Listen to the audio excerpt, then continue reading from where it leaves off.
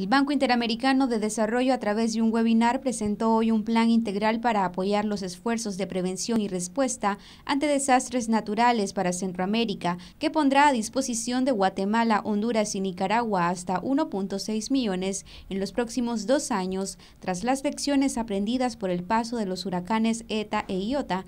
De este modo surge la Agenda Futura para Centroamérica, que busca minimizar el impacto climático en la región. La inversión al sector privado, por cierto, con 31 mil millones de dólares, pero también la parte social que aborda eh, varios proyectos con 10 mil millones y la resiliencia al cambio climático y la gestión de riesgos costaría 3 mil millones de dólares y hemos identificado dónde, en qué persona, en qué lugares, en qué zonas se puede trabajar. Y por cierto, cómo proteger a las personas en todo el ciclo migratorio con 500 millones. Pero la resiliencia al cambio climático en este plan costaría 3 mil millones. Es posible.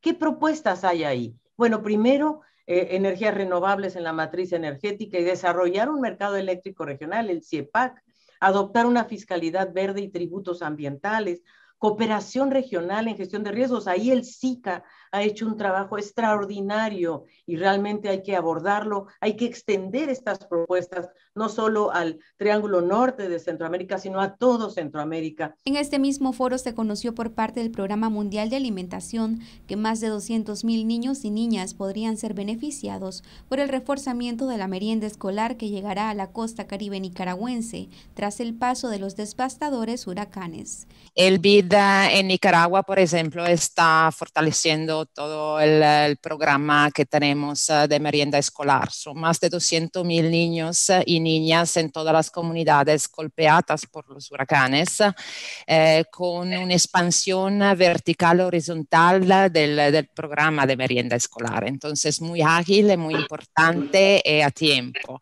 El plan presentado hoy se implementará de forma coordinada con otras agencias multilaterales como el Banco Mundial, el Banco Centroamericano de Integración Económica y la Comisión Económica para América Latina CEPAL, así como otros socios regionales como el Sistema de Integración Centroamericana y socios a nivel de cada país. Para Noticias 12, Gabriela Solórzano.